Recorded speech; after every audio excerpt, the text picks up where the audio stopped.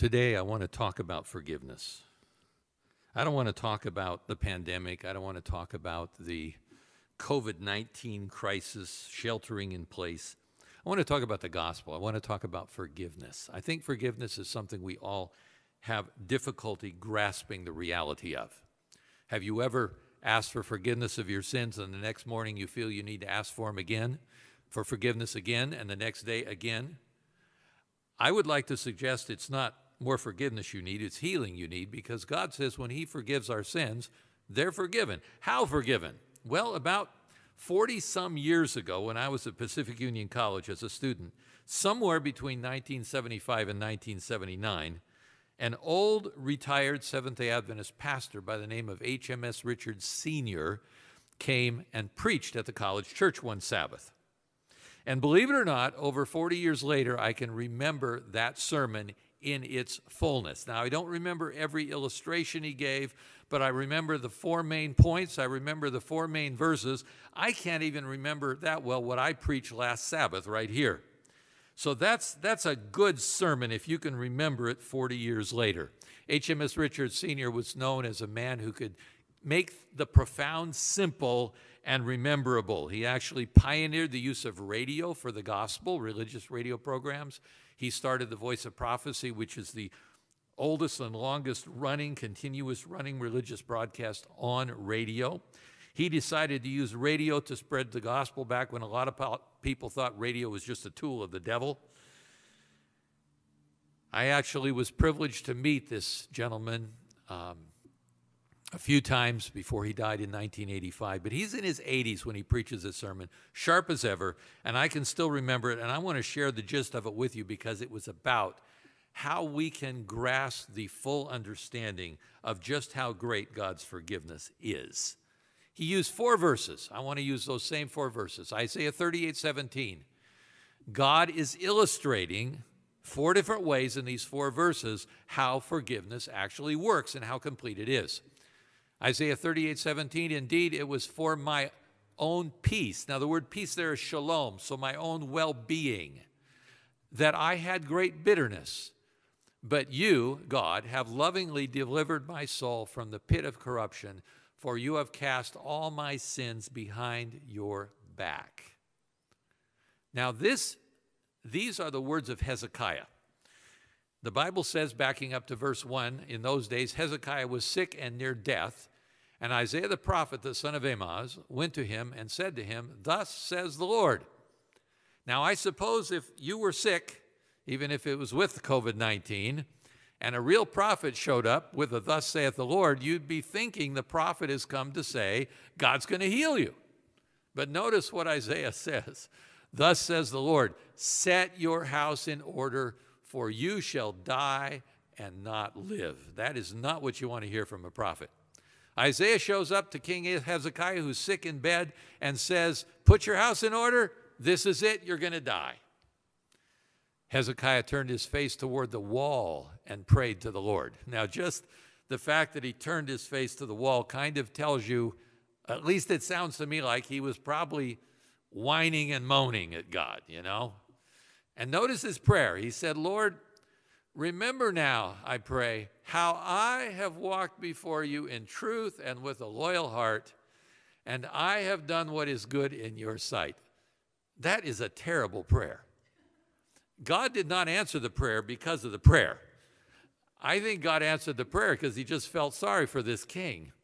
Um, I don't know why God was going to let him die at that point, but God evidently um, saw Hezekiah weeping bitterly, it says. He turned his face to the wall and he wept bitterly. And he talked to God about how good a guy he was, and almost as to say, God, you owe me one. Well, the Lord never owes us one, and we never get the answer to our prayer because we have walked in truth and been loyal, or we have done good. We get answers because God is good and merciful. But notice in verse 4, the word of the Lord came to Isaiah saying, All right, go tell Hezekiah, Thus says the Lord, the God of David your father, I have heard your prayer, I have seen your tears. Surely I will add to your days 15 years. How do you like that answer to prayer? Would you actually like God to come along and say, okay, I'll heal you, you get 15 more years? Can you imagine? The first few years, it feels good. But what are you going to do on the 14th birthday after your healing? You're going to call all your family together and you're going to say, let's have my last birthday. I'm going to die this year. I find some irony in the story, but that's not the point. The point of the story is this God said, let me, let me get this straight. After Hezekiah was healed, he wrote a poem, a song of thanksgiving to God, a prayer. And you'll find that in verses 10 to 20 of this chapter. And it's his words in verse 17. Indeed, it was for my peace, my shalom, my well being that I had great bitterness. God can bring good for us even out of bad times.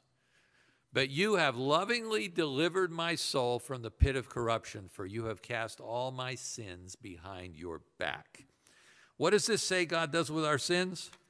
It says he throws them over his shoulder. He puts them behind his back. He's sitting on his throne and he puts them back there, and nobody is going to ask God to move over so they can dredge them up. This is God's way of saying, I leave your sins in my past. You need to leave your sins in your past. We deal in our world today with a lot of addiction. And I know one of the ideas of addiction is that you will spend the rest of your life battling that addiction. You have to go to AA, NA, SA, whatever, the rest of your life in order to keep this addiction under control. I have to tell you, I believe, and I believe the science actually backs it up, that it's possible even for addictions to be left in the rearview mirror. They've done research and discovered that whatever your addiction is, whether it's alcohol or drugs or pornography, whatever it is, there's a section in the very center, deep part of your brain that lights up the brain waves just about identical, whatever the addiction is. They've also discovered that it takes three to five years of sobriety for the brain to rewire. So, with the help of, of, of someone standing by your side and calling you to accountability, with the help of God and the Holy Spirit, sobriety can actually bring a change in the brain waves. These addictions can be left behind.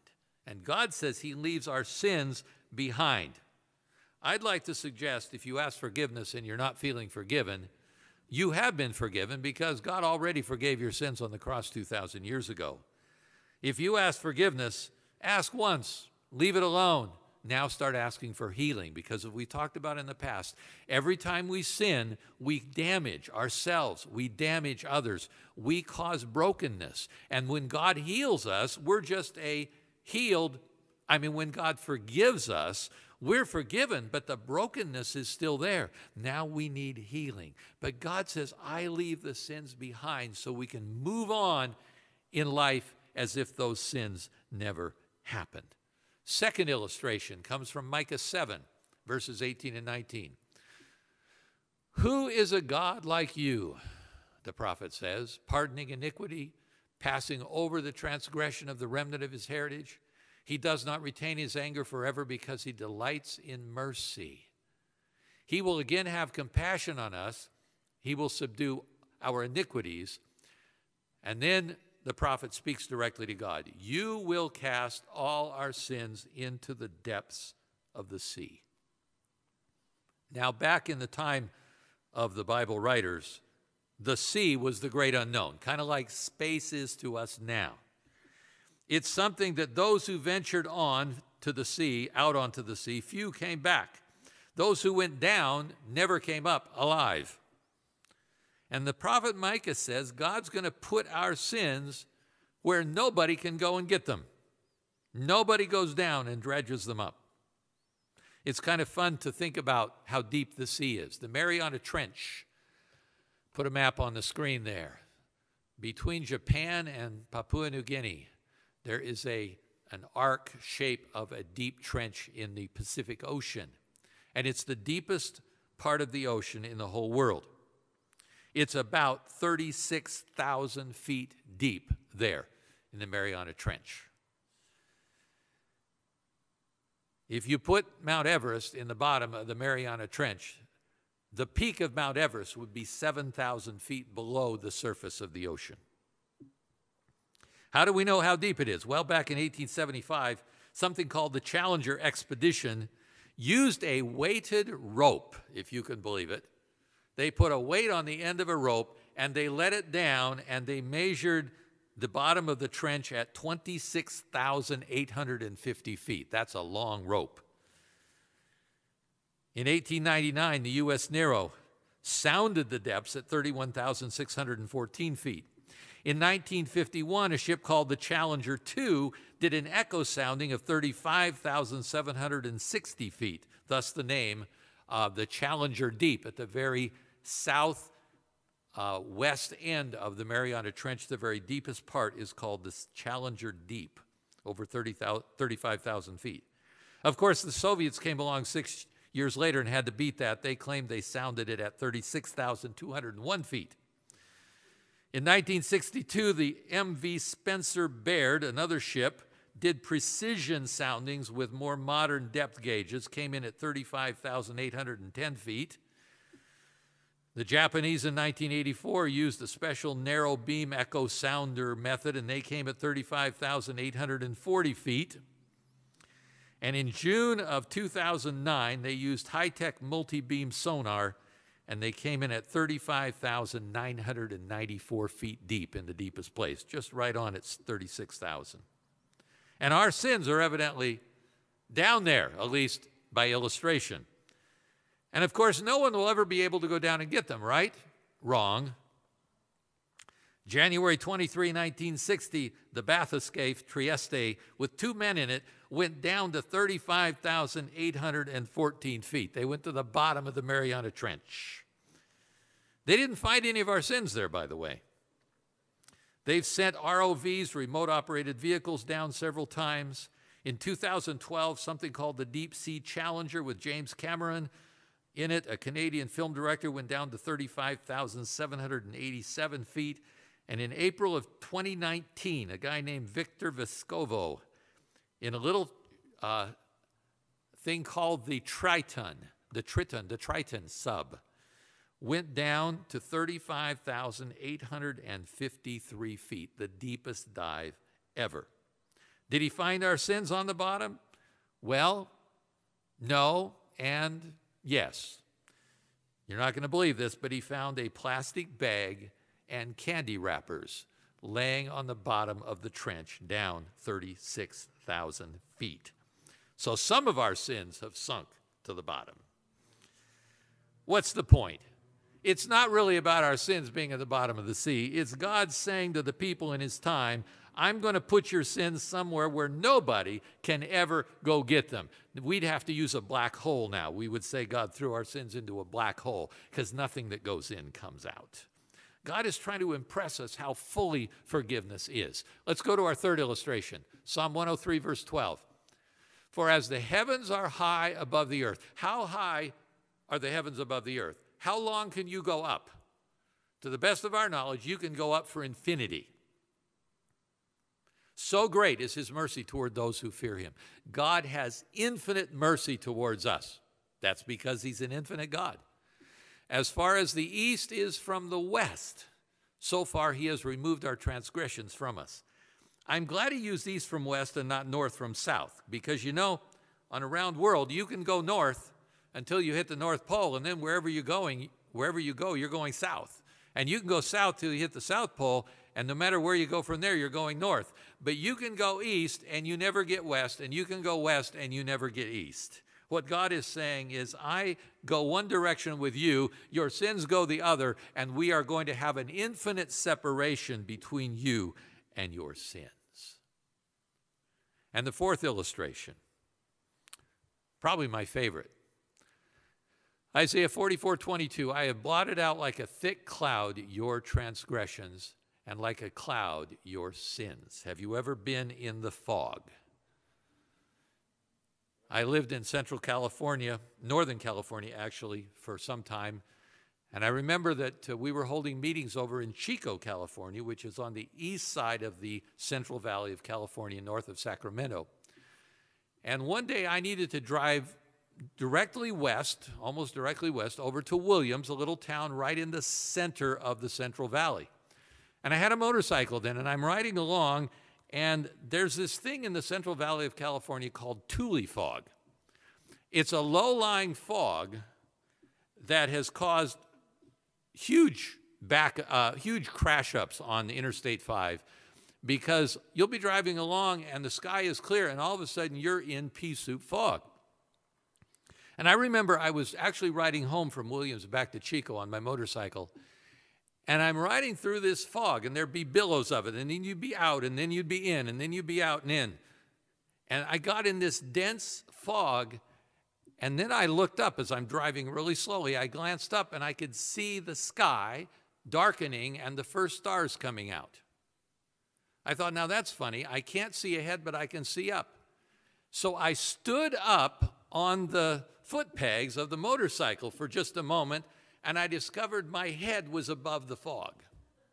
That fog was right above my eye level, and when I stood up, I could see clear across the valley to the mountains. My head was above the fog.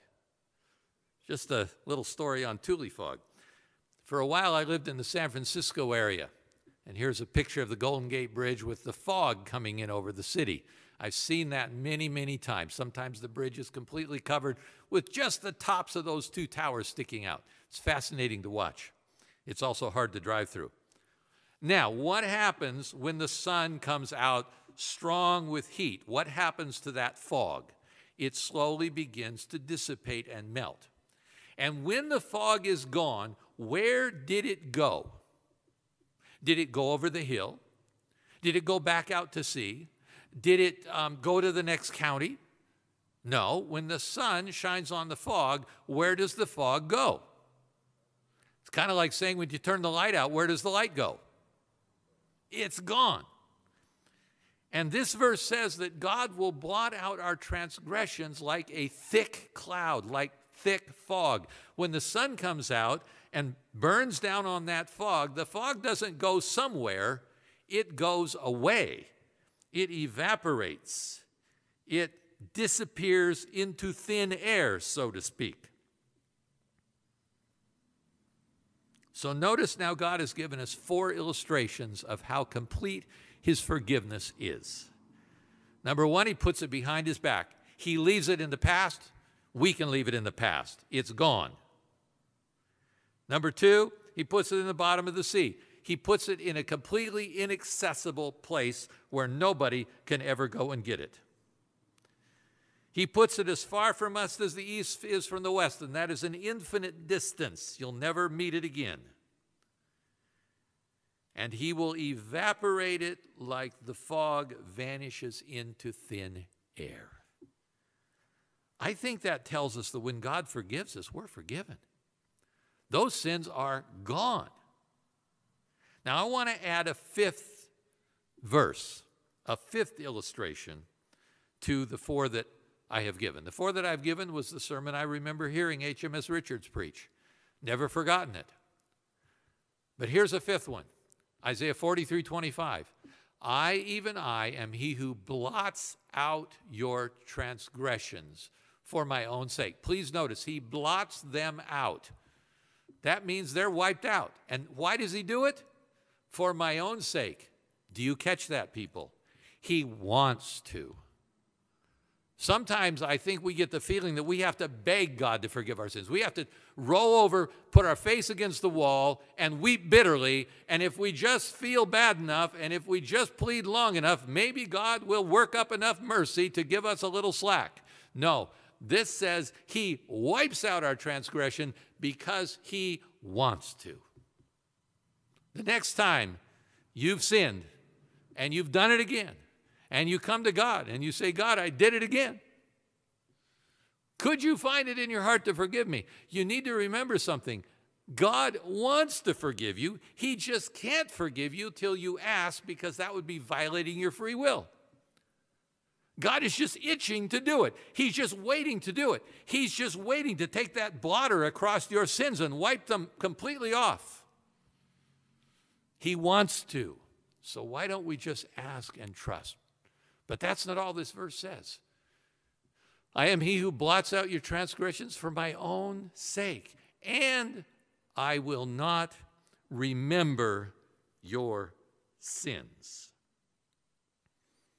Evidently, God has self imposed dementia. You know, somebody with Alzheimer's or dementia, every the, the same thing is a brand new experience every day. And it's sad, but it's sometimes it's kind of funny the way it works out. Everything is new if you have dementia. God claims amnesia. He says, concerning your sins, I won't remember.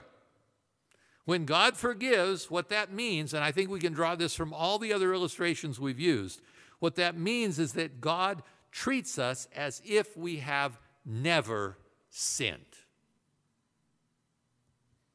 He says, if you confess your sin, he's faithful and just to forgive us our sins and to cleanse us from how much unrighteousness?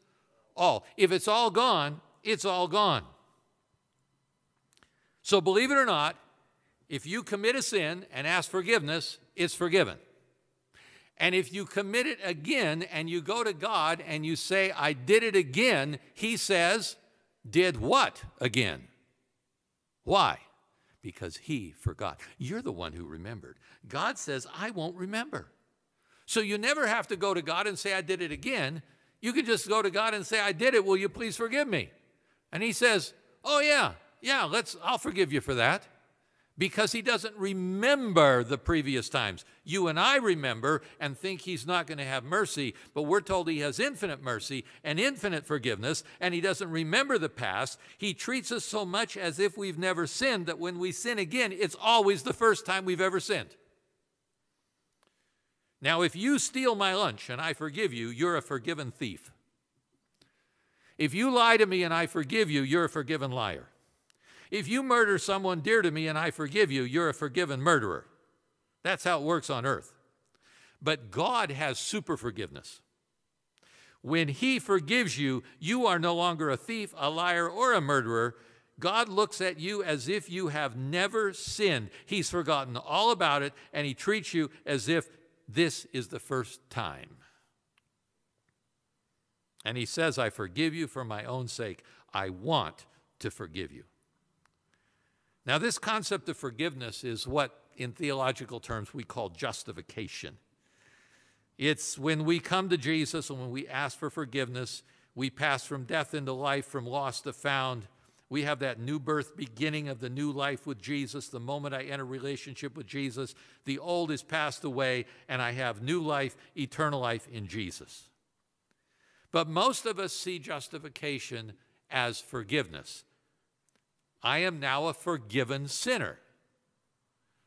God does not see it that way. God has super forgiveness. When He justifies us, when He forgives us, He treats us as if we have never sinned and He never remembers those past sins again. They're gone. Now, you might say I've gone a little bit off the deep end here, but I believe what I presented is biblically sound. But to just nail it down even a little better. You know, we as Seventh day Adventists, we believe that there was a little lady that lived back in the 1800s who wrote some books, and we believe she was specially inspired by God. We believe that she's not equal with Scripture, but she's head and shoulders above anybody else. And in 1888, our message as Seventh day Adventists was so focused on obedience that we lost sight of the gospel. And at the General Conference in Minneapolis in 1888, a couple of preachers named Jones and Waggoner got up and preached the gospel with new life and new light about understanding not only forgiveness, but super forgiveness. How God completely forgives us, and how that forgiveness actually empowers transformation and obedience. And many of the old guard in our church back in the 1880s thought that if you were too secure in Christ, you wouldn't be serious enough about obedience. They kind of believed that insecurity was kept you, is what kept you really trying to be good.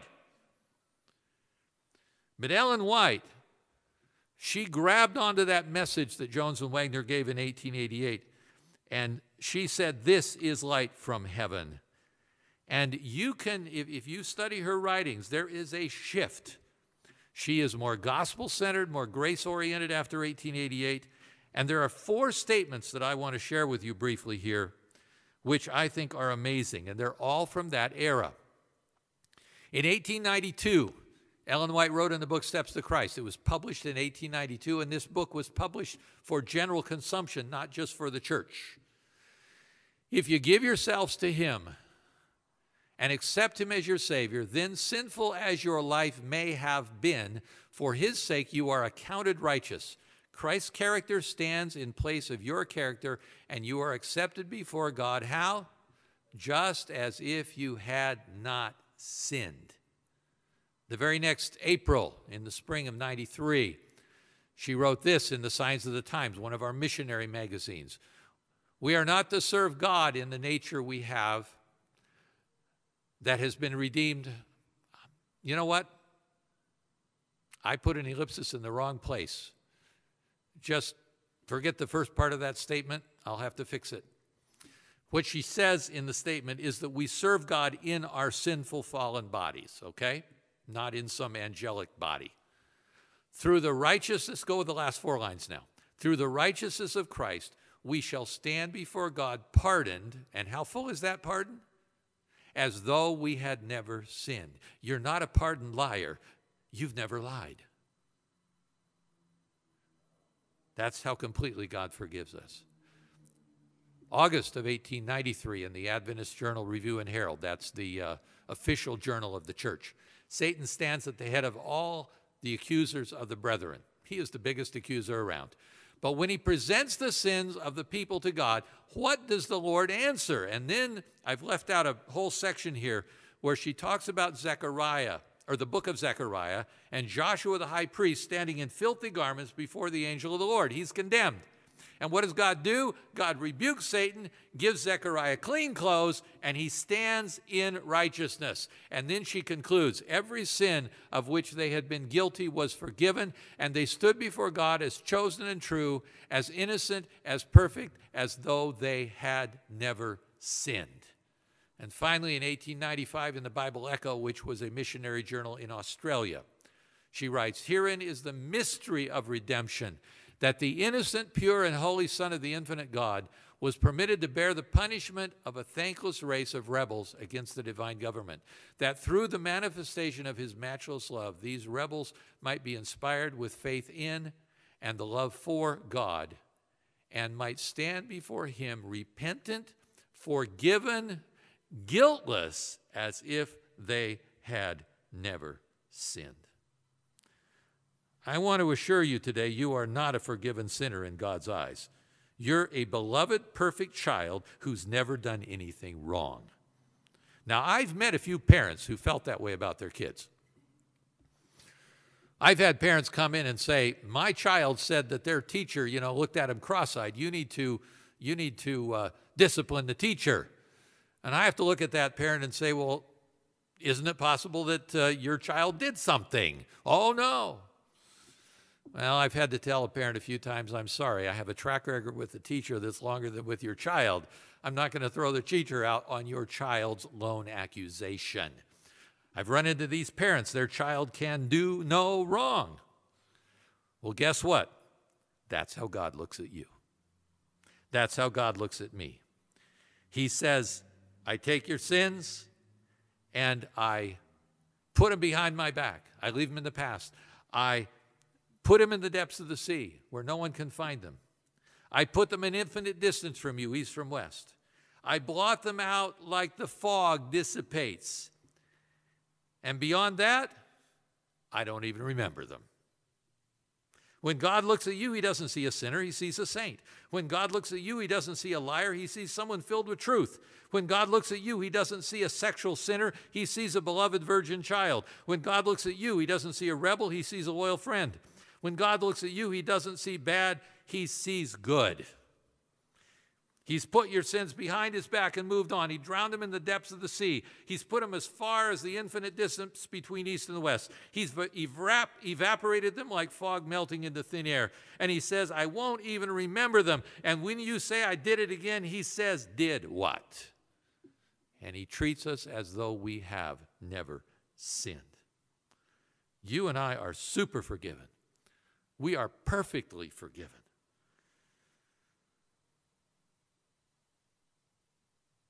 With that kind of forgiveness, we're not only promised eternal life, but I will guarantee you something. if we can begin to understand the fullness and the completeness of God's forgiveness, we will discover that that forgiveness is what brings with it the power to actually make us non sinners and bring us into obedience and the glorious living of the righteousness God has for us. Super forgiveness. I want to encourage you to look at these verses and think about them. And stop turning your face to the wall and whining to God to please forgive you. He has. Accept it. Move on. And if you sin again, yes, we all will, don't come to God and ask Him if He can forgive you one more time. Because in His eyes, it's your first sin, and He wants to forgive you again. Let's pray. Jesus, thank you for bearing all our sins and their consequences on the cross. They've been nailed to the cross. They're yours and not ours. And they're not yours by you sitting there mulling over all the things you can see we've done. Because they're yours. You've thrown them out. You've blotted them out. You've drowned them. You've separated them an infinite distance. You've evaporated them. And Lord, we are so good at remembering what you have forgotten. Give us the mind of Christ that we might forget our past as well and move into the glorious future that you have with us, where you want to live your life out in us, where we can experience real life, the life of righteousness. Lord, may we stop identifying ourselves by our sin and start identifying ourselves by our Savior. We pray this in Jesus' name. Amen.